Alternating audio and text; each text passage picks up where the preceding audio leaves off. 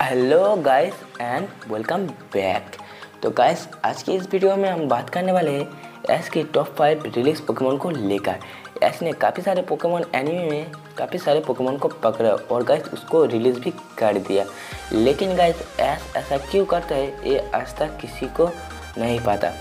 तो गाइस आज की हम इस वीडियो में हम इस बात को लेकर थोड़ा सा डिस्कस करेंगे कि एस ऐसा क्यों करता है और गाइस एस का टॉप फाइव रिलीज़ पोकेमोन के बारे में कुछ आप लोगों को बताना चाहता हूँ।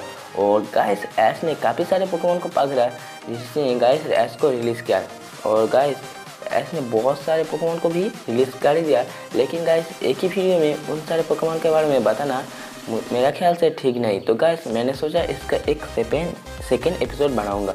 तो गाइस आप लोग देख रहे हैं क्रिकेट इंडिया चैनल को, और मैं हूँ राकेश। तो चलिए गाइस वीडियो को स्टार्ट करते हैं।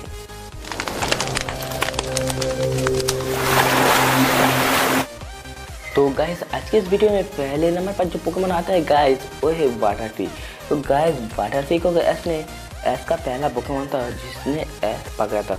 Guys actually water tree Ash का पहला पोकेमोन नहीं था. एस का पहला पोकेमोन था कैटरपी जिसको धीरे धीरे विकसित कर कर एस ने वाटरपी में विकसित कर दिया. और गाइस वाटरपी को काफ़ी ज़्यादा अच्छा ट्रेनिंग मिला था, जिससे वाटरपी बहुत ही ज़्यादा ताकतवर पोकेमोन बन गया था. और गाइस वाटरपी बहुत ही अच्छा flying and work type Pokemon था. और गाय एक बटरफ्ली फेस्टिवल में जैसे कि मैंने एक वीडियो बनाया था, आप लोग शायद देख सकते हो उस वीडियो को। और गैस बटरफ्ली फेस्टिवल में ऐश ने बटरफ्ली को छोड़ दिया और गैस बटरफ्ली एक पिंक बटरफ्ली को अपना जीवन साथी मानकर उसके साथ चला गया। और गैस ऐश ने उसको क्यों रिलीज़ कर दिया? आज तक किसी को नहीं पता। और गैस मेरे ख्याल से ऐस उसको अगर रिलीज़ ना करते हुए दोनों बटरफ्ली को अपने पास रख लेता तो ज़्यादा ही अच्छा होता। तो गाइस मेरे ख्याल से एस को बटरफ्री को रिलीज़ करना नहीं चाहिए था। तो चलिए गाइस नंबर फाइव हो गया कंप्लीट और हम लोग बढ़ेंगे नंबर फोर की तरफ़। तो गाइस नंबर फोर पर जो पकवान आता है गाइस वो लैपिस और गैस लैपिस एक आइस टाइप पकवान है। और गाइस जिसने एस को सॉरी गाइस एस ने इसको रिलीज़ कर दिया। और गाइस एस ने इसको रिलीज़ कर दिया क्योंकि इसको अपने मोम के पास जाना था। तो गाइस एस ने जहाँ पे से पकड़ लिया, तब गाइस इसको छोड़ कैसे दिया। लेकिन गाइस एस ने अगर ये सारे के सारे पोकेमोन ऐसे ही छोड़ता रहा तो गैस आखिर में इसके पास कोई भी स्ट्रॉन्गर पोकेमोन नहीं बचेगा। क्योंकि गैस इसने उसको मोम के पास जाने के लिए इसको छोड़ दिया। और गैस ऐसा कोई भी ट्रेनर नहीं करता। उसके मॉम के पास जाना है। तो गैस सारे के पोकेमोन तो उसके मॉम के पास जाना है। तो सारे के सारे पोकेमोन को एस तो छोड़ ही दे सकते हैं, जिससे कि एस का फ़ैन पूरा का पूरा गुस्सा हो जाएगा। और गैस लैपिस एस को काफ़ी सारे बार बैटल भी जीताया और गैस काफ़ी सारे मदद भी किया है नदियाँ पार करने में। तो गैस फिर भी एस ने लैपिस को उसके मोम के पास भेज दिया। तो गैस एस कुछ ज़्यादा ही पोकेमोन को रिलीज़ कर दिया था। और गैस मेरे ख्याल से एस का काफ़ी ज़्यादा बुरा बात भी है। और गैस इसी तरह तो मैंने दिमाग पर रखते लेपिस को भी कर रखा। नंबर फोर पर तो चलिए गए था हम अब आगे बढ़ते नंबर थ्री की तरफ़। तो गाइस नंबर थ्री का जो पकवान आता है गाइस वो है गोस्ट एंड पॉइजन टाइप पकवान है। तो गाइस अगर आप लोगों में से काफ़ी लोग सोच रहे होंगे कि एस के पास गोस्ट टाइप पकवान कहाँ है तो गाइस मैं आप लोगों को बता देता हूँ। एस ने एक ही एपिसोड के लिए हॉन्टर को पकड़ा था। Lavender City and ghost tower से तो गाइस एस ने लेवेंडर सिटी एंड गोस्टा से हंटर को पकड़ा था सबरीना से बैटल करने के लिए। लेकिन गाइस जैसे ही बैटल एस जीत जाता है तो गाइस एस ने हंटर को रिलीज़ कर दिया। तो गैस ये एस का काफ़ी ज़्यादा बेकार बात है कि, क्योंकि एस ने हंटर जैसा ताकतवर पोकेमोन को रिलीज़ कर दिया। और गैस हंटर जब आगे जाकर गेंगर में विकसित हो जाता, तब गैस गेंगर काफ़ी ज़्यादा ताकतवर पोकेमोन साबित हो जाता। है और गैस उसका जो मेगा रिवोल्यूशन है गेंगर का, वो काफ़ी ज़्यादा औसम है।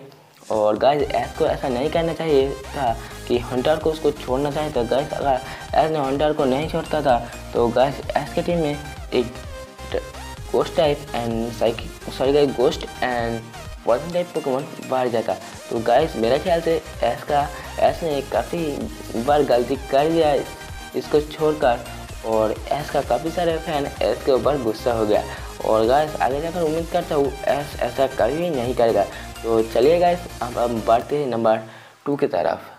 गाइस नंबर टू पर जो पोकेमोन आता है गाइस वो है लेवेटर और गाइस एक बेबी लेवेटर को ऐस पकड़ता है और गाइस कुछ ही समय बाद उसको रिलीज़ भी कर देता है उसके मोम के बाद और गाइस अगर एस ऐसा नहीं करता होगा तो गैस वो लेवेटर बड़ा कर टाइटनेटर में विकसित हो जाता। और गैस टाइटनेटर एक सोडो लेजेंडी पोकेमोन है।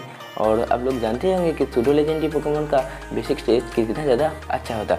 और गैस इसका एक मेगा रेगुलेशन में ही जो कि डार्क टाइप पोकेमोन को dark type and ground type Pokemon बन जाता है। तो गैस मेरा ख्याल से इस टाइटन को एस को छोड़ना नहीं चाहिए था। सॉरी गाइस टाइटन नहीं लेबेटर को एस को छोड़ना नहीं चाहिए था। लेकिन फ़िलहाल तो एस ने उसको छोड़ दिया और गाइस एस ने अपना काफ़ी सारा फ़ैन का दिल टूट भी दिया। और गाइस इसी बात को मैंने ध्यान पे रखते हुए लेबेटर को अपने इस लिस्ट पर नंबर टू पर रखा तो चलिए गाइस अब हम आगे बढ़ते और इस लिस्ट को कंटिन्यू करते हैं। तो गैस फाइनल हमें नंबर वन पोकेमोन को देखने का मौका मिल गया तो गैस नंबर वन पर जो पोकेमोन आता है गैस वो है ग्रीनिंजा तो गैस जो कि आगे जाकर एस ग्रीनिंजा में तब्दील हो सकता है और गैस एस ने उस पोकेमोन को रिलीज़ कर दिया। तो गैस एस ने ग्रीनिंजा को क्यों रिलीज़ कर दिया? इस बात का अभी तक अच्छे से खुलासा नहीं हुआ। और गैस एस का एक काफ़ी ज़्यादा बेकार बात है क्योंकि एस ने उस ग्रीनिंजा जैसा ताकतवर पोकेमोन को रिलीज़ कर दिया। और गैस एस ग्रीन निंजा जब बन जाता था, तब गैस वो ड्राफ्ट एंड वाटर टाइप पकवान बन जाता था और गैस वो एक निंजा टाइप भी था। तो गैस मेरा ख्याल से इस लिस्ट पर, इस पकवान को नंबर वन पर तो ज़रूर आना चाहिए था। तो गैस आप लोगों को क्या लगता है, इस पकवान को नंबर वन पर आना चाहिए था या फिर नहीं चाहिए था? आप लोग कमेंट बॉक्स से ज़रूर बता सकते। तो चलिए गए आज का वीडियो बस इतना ही। अगर वीडियो आप लोगों को अच्छा लगते है तो एक लाइक ज़रूर कर देना साथ साथ अपने फ्रेंड के साथ शेयर भी कर लेना। और गए अगर आप लोग मेरे चैनल पर नए हैं चैनल को सब्सक्राइब कर लेना काहे मान चैनल तब तक के लिए गए मैं चलता हूँ, आप लोगों से मिलूँगा नेक्स्ट किसी वीडियो में। Bye bye